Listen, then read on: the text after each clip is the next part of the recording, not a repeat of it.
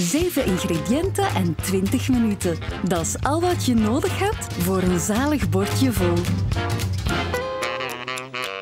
Het is tijd voor Klaar in 20 minuten. Deze chef is de koning van de bulderlach, een echte expert. Ik duim dan ook voor een lachconcert. Hij boldert en botert, meestert en begeestert. Een twee-sterren-chef naar mijn hert, Meeuwis Bert. Goeiedag. Chef, alles goed? Prima, dank u. Er zijn niet zo heel veel woorden dat mooi rijmen op Bert, dus het was een uitdaging. Maar Voilà, voilà, voilà. Middelmatig Maar het is, het is geslaagd. goed gelukt. Het is goed gelukt, dank u. chef, ik heb voor jou een heel belangrijke vraag vandaag. Wat ga je maken met deze zeven attributen en vooral, is dat klaar in 20 minuten? Ja, dat gaat klaar zijn in 20 minuten, denk ik. Eh, dat gaan we toch proberen. Wat gaan we maken? Een uh, ossehaas, filet puur. Een stuk van het filet van het rund eh, met een bordelaise saus en een frietje. Ik hoor stekfriet en ik begin te lachen. Kijk, chef, ik ga niet langer wachten. Ik ga de klok keihard starten in welgeteld 3, 2, 1 en koken maar. Voilà. We gaan beginnen met de frietjes. Die moeten we een minuutje of 5, 6 voorbakken, 7. Dus dat duurt het langste en dan gaan we de saus opzetten. Eh, Jij bent wel fan van aardappelen, hè? ah, ik ook trouwens, hoor. Dus, Ik vind aardappel is een, eh, is een Belgisch product. Waarom zouden we dat niet mogen gebruiken? Allee, eh, ik heb ook niks tegen rijst of tegen pasta, maar ik vind, eh, als je hier, hier bij ons bent, mag je rustig een patatje gebruiken. Hè. We hebben verschillende soorten aardappelen, dus je kunt er wel ver, eh, ver mee geraken. Hoeveel aardappelsoorten zou jij kunnen opnoemen, chef? Veel, denk ik. Daar ga ik me niet aan wagen, maar voor een paar kan ik het wel opnoemen. Ja. Ehm, wij, werken, wij werken nu met... met eh, ah, je hebt, je hebt je hebt ook de Franse Belle de Fontenay uit de Loire-streek, dat zijn dezelfde. Je hebt bintjes, eh, de frietaardappel. Ehm, ja, En voor deze, dit gerecht, welke eh, soort dit zijn aardappel? frietaardappelen, een soort bintjes. Ehm, eigenlijk moet je een aardappel, die mag niet te zoet zijn, eh, want dan worden je frieten donkerbruin. En ehm die moet een beetje melig zijn. Dus je kunt geen, de vastkokende aardappel voor frieten is eigenlijk niet zo interessant. Nee. Dus wat gaan we nu doen? We gaan frietjes snijden. Hè. Dat kan ook met machine. Ik heb thuis nog zo een oude Dat kan absoluut met machine. Eh, daar is ook niks mis mee. Maar eh, voor, voor nu, voor, voor deze hoeveelheid, zou ik zeggen, jongens, doe eens moeite en snijd die met de hand. Voilà. Voilà. Zult ook zien dat dat niet veel voorstelt. En haha, de vraag der vragen. Moeten de frietjes gewassen of moeten ze niet gewassen? Ja, Ik hoor ze al aankomen. Aha. Ik was de aardappelen niet. oké. Je kunt ze wassen, eh, dat zetmeel eraf is, maar ik vind dat juist niet nodig. Eh, wat wel is, als je je frieten natuurlijk 's morgens snijdt, om mise en place, en je zou die s'avonds willen bakken, of voorbakken, en je hebt ze nog niet voorgebakken, ja, dan moet je ze in water zetten, hè? Ja. anders zijn ze zwart. Hè? En wat is de ideale friet? Want er zijn mensen die heel graag krokant hebben en echt bijna uitgedroogde frieten. Eh, dat, dat is persoonlijk. Frieten moeten, sommigen hebben graag dikke kermisfrieten. Ik vind een frietje moet vooral gaar zijn. Heel veel koks kunnen geen frieten gaar bakken. Hoe ziet je dan friet gaar is? Als je je friet uit de friteuse neemt, Ja? En je hebt, eh, je steekt je vingers tegen elkaar, je pitst Ja. erop, als het warm is. En ze breekt niet, En het buigt. dan is gaar. Ah, oké. Als ze breekt, is het niet gaar. Ah, wel, wil je dat straks laten zien? Dan, eh, Ik laat je dat straks zien, Jeff. ah, goed. Voilà, we gaan die nu voorbakken op 150 graden. Dus niet, niet, eh, niet te warm. Waarom niet? Als je frietjes voorbakt te warm, dan zijn je aardappelen bruin, maar niet gaar. En heb jij een voorkeur qua vet? Eh, het beste is ossenvet. Ja. Maar wij gebruiken tegenwoordig plantaardig vet. Waarom? Omdat wij niet heel, we frituren heel weinig. En als we dan iets frituren van een, voor een vegetariër, dan kun je alweer nieuw vet gaan pakken. Ja. Dus, en dat doen we liever niet. Allee. Voilà. Dus die frietjes zitten in. Ehm, die gaan we nu laten voorbakken. Zes, zeven minuutjes ehm, ongeveer. Hou dat wel aan de gaten. Ondertussen kunnen we ons saus opzetten. Dus we gaan een bordelaissaus maken. Bordelaise, het woord zegt het zelf, hè, Bordeaux. Rode wijn. ehm, uit de Bordeaux-streek. Lekker, Voilà. Wij, we gaan, hoe gaan we dat doen? We gaan een beetje eh, eh, afval van, van eh, rund, wat je kunt krijgen bij de slager. Als dat nu van de filet is of dat is van, eh, van de entrecote, dat maakt niet uit. Dat zijn wat vliesjes, wat parures. Die gaan we aankleuren in de, in een recipiënt samen met wat shalotten. Moet een beetje harder zetten hier. Dan gaan we dat vuur gebruiken. Nee, vuur wil niet, dan is het dit vuur. Voilà. Hup. Goed. Dus een shallotje gaan we daarbij doen. Wat laurier, wat peperkorreltjes. eh, en dan hebben we daar een beetje kalfsjus. Ja, die mooi aan het voorbakken.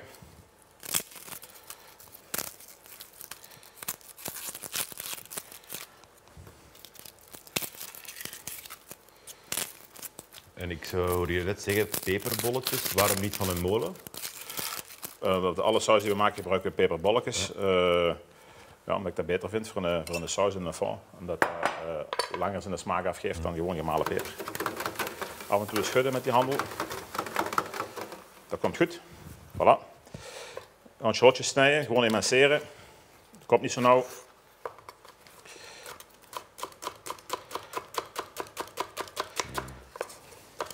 Maar het zou eventueel ook met een gewone ajuin kunnen, chef. Rode ajuin kan, gewone ajuin kan, eh, kleine ronde slotten kan. Dit zijn nu lange Frans slotten. Allemaal geen probleem. Voilà. Ik ga die afval er al in doen. Die gaan we zelfs meekleuren.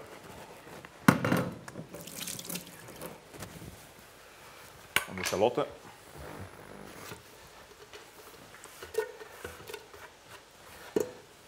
Voilà. De frietjes zitten er vijf, zes minuutjes in bijna.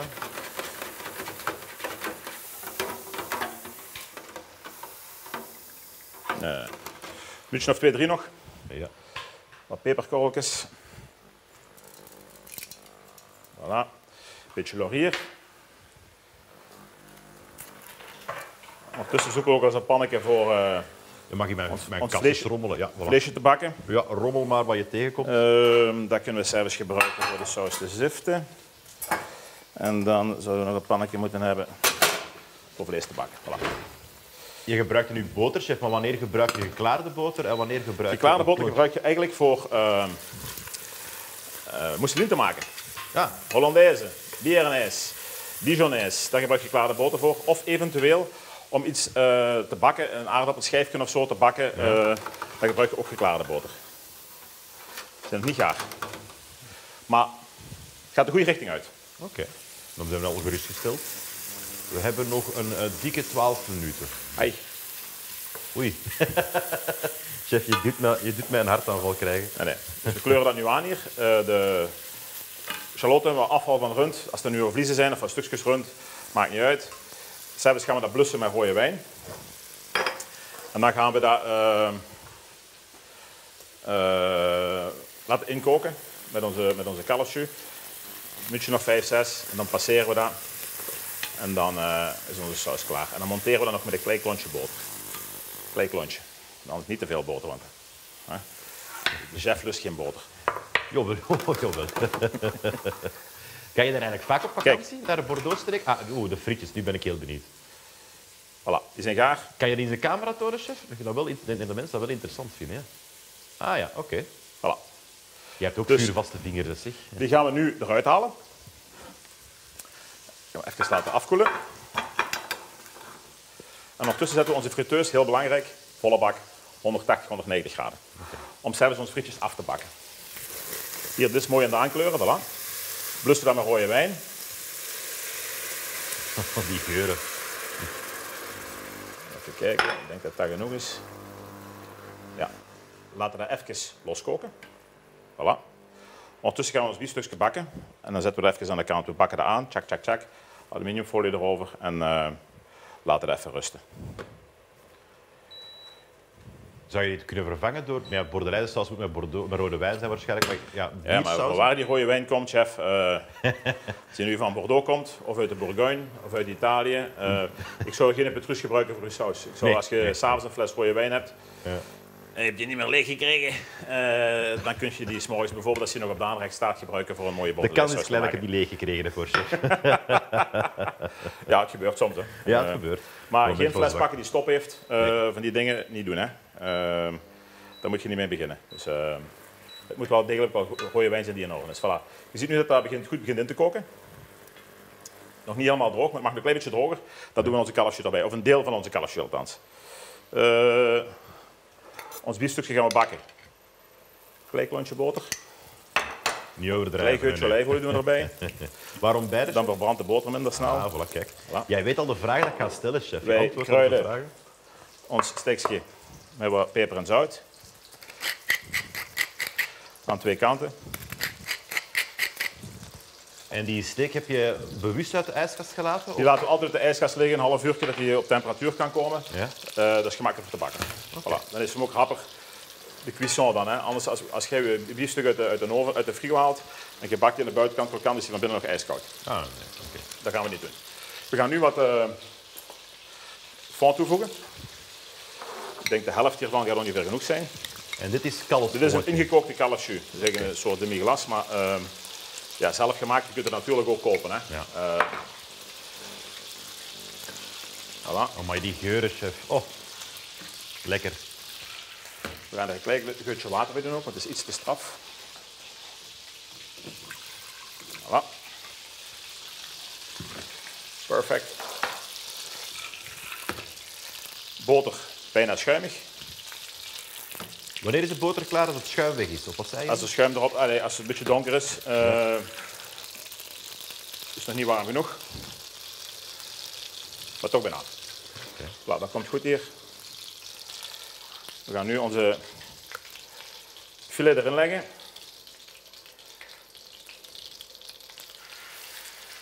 Voilà.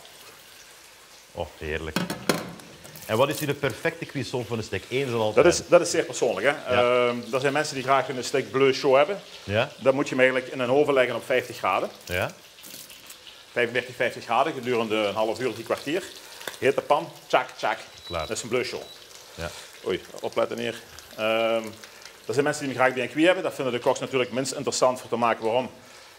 Als je niks op tegen, hè, we maken dat uiteraard. Maar eh, als je met een topkwaliteit van vlees werkt, is het zonde ja. dat dat bien cuit wordt gegeten. Dus eh, dan zet je wel een stuk van je smaak kwijt. Dus een warme oproep om toch te vermijden om Yankee te willen eten. Ja, ja, Plant is koning, maar... hè, ja.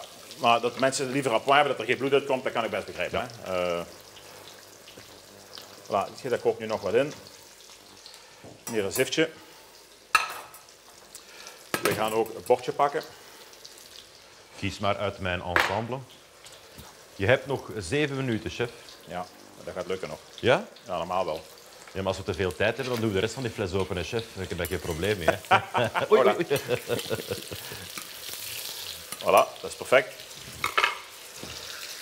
Maar die geuren, joh. Oh. Ja, die gaan we nog twee, drie minuutjes en dan is dat goed. Dat sausje, dat lacht mij aan. Dat giet lekker naar de rode wijn. Voilà. Ons frietjes gaan we terug in het mandje gooien. We zullen maar een deel bakken, dan heb jij straks ook nog wat frieten. Voilà. Oké. De friteuse die is warm. Ja, Wat zijn jouw ambities nog, chef, in de keuken? Want jij hebt nu wel al heel veel bereikt. Heel veel zelfs. Ik heb gehoord dat je zelf je heel interieur veranderd hebt. Ja, we hebben een nieuw restaurant gebouwd. Eh volledig nieuw restaurant eh, langs, langs de Bosbeek. Dus we hebben de natuur een beetje binnengehaald. Eh, daar zijn we heel blij mee natuurlijk. Hè. We, en we hebben ook een heel nieuwe keuken. Dus het geeft terug een nieuwe schwung Ja. aan de zaak. We zijn 28 jaar bezig. En er waait nu terug een beetje een nieuwe wind. Ook met mijn zoon die mee in de zaak zit. Dus daar zijn we wel heel blij mee. Is dat nodig om jezelf een beetje uit te blijven dagen? Of routine is natuurlijk altijd. Eh, het is plezant in ieder geval. Allee, eh, is het nodig? Eh, ik denk het wel, ja. Ja. Maar god, die geuren. Toen mij denken aan mijn grootmoeder, die maakt op zondag altijd rundstek of zo gereed. En dat doen we allemaal. Die geuren doen me daaraan terugdenken. Fantastisch. Een klein beetje uitduwen.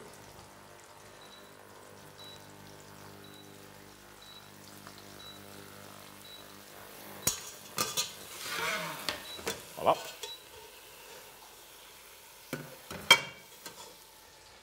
Nu gaan wij de frietjes laten zakken. Eh, wel even kijken dat ze niet aan elkaar plakken. Beetje mee schudden.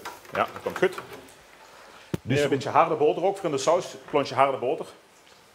U vindt wel iets in meisje. Dus als ik het goed onthouden heb, chef, frieten voorbakken 150 graden, afbakken 180, Ja, 140, 150. 150 graden. Als je goede friteus hebt, tussen de 140 en 150 voorbakken. Ja. Tussen de 5 en de 8 minuten. Dikke fritten 10 minuten, 12. Ja. Ehm, en dan eh, laten afkoelen, je friteuse warmer zetten. En dan eh, afbakken op 180, 190. Oké. Komt goed. Dan er een paar klontjes boter onder roeren. Waarom moet die boter koud zijn, chef? Eh, dan blinkt uw saus mooier, anders zou ze gewoon smelten in uw saus. Ja. Ehm, dus we gaan die nu, voilà. Een beetje eronder roeren.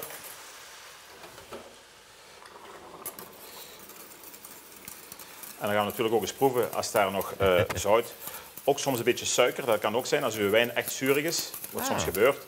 Je fles Bourgogne open doet, bijvoorbeeld Pinot Noir, je vindt die niet lekker, zegt ah, die is te zuur. Ja. We gaan die niet uitdrinken. Je kunt er wel bordeleidensaus van maken uiteraard. Eh allee, of een rode wijnsaus. Dan is het wel geen Bordeaux, maar goed. Eh, dan kan het zijn dat we daar soms een klontje suiker van doen. Dus, Oké. eh, ah, een klontje, snuifje suiker, excuseer. Ja, dat maakt niet uit welke suiker. Geen kandijsuiker of zo. Nee, nee, witte suiker. suiker. Ja, oké. Een goede tip. C'est bon. En direct in Frans zelf, klein ja, als in. Bordeaux. Hè. Dat voor de show, hè. Een klein beetje zout nog. Voilà. Ja. Dat komt goed. En jij hebt nu de stek van het vuur gehaald, is dat om te laten rusten? Of, of? Nee, gewoon, ik ga die nu nog heel even eh, Ja? een coup chaleur geven. Een warmteslag voor de een warmte vertaling. toek. Frietjes zijn mooi krokant. Kijk Maar maar. ja. Afschudden. En nu, zout op de friet of geen zout op de Ja, ja, friet? uiteraard. Ah. Ik vind altijd een rare vraag het frituur. Moeten er zout op de frietjes? Ja, tuurlijk. Wordt tegenwoordig niet meer gedaan wegens gezondheidsreden, maar ik vind frietjes moet je zout op doen. Hè. Daar Ja, tuurlijk. moet je niet over discussiëren. Hè. Voilà, la sauce. We gaan dresseren. Voilà, dan hebben we drie, ruim op tijd. Dan kun je er nog een glaasje wijn bij uitschenken zelfs. Hè. Ons steekje leggen we erop. Ja. Onze frietjes gaan we erop dresseren. Hier maakt toch iedereen blij mee? Dat weet ik niet. Ja, ik, nee, ik, word er toch blij van in ieder geval. Ja, ik word er ook heel blij van. Dus we kunnen al eh, samenvatten, wij worden daar blij van, chef. Voilà. En is dat oneerbiedig als ik zeg, daar nog een kwad mayonaise bij? Is dat, is dat erg dat ik dat Eh, zeg? niet alleen mayonaise, wat ook nog lekker is, is eh witlofslaatje. Bijvoorbeeld Oh. gewoon wat met dus, eh, volgens seizoen een beetje witlof gesneden. Ja. Dan wat mayonaise onder, Oh. peper, zout, witlofslaatje. Duurt twee minuten voor dat te maken. We hadden het Eh, eigenlijk kunnen maken, de tijd. We hebben nog tijd over. Maar je hebt je witlof. Ja, nee, maar we hadden het kunnen doen, chef. Oh, heerlijk. Voilà, en dan stop ik, Zeer eenvoudig. stop ik de tijd. Klaar in... eh Ossehaas of filet of biefstuk eh, met handgesneden frietjes en bordeleisaus. Smakelijk. Hoe mooi. Mensen dat dit simpel maar goed gerecht willen namaken, kijk eens op niam.tv. Chef, wij gaan hier nog een potje mayonaise boven halen en we gaan spikkelen en smullen. Dank je wel. Laten we smaken. Merci. hè.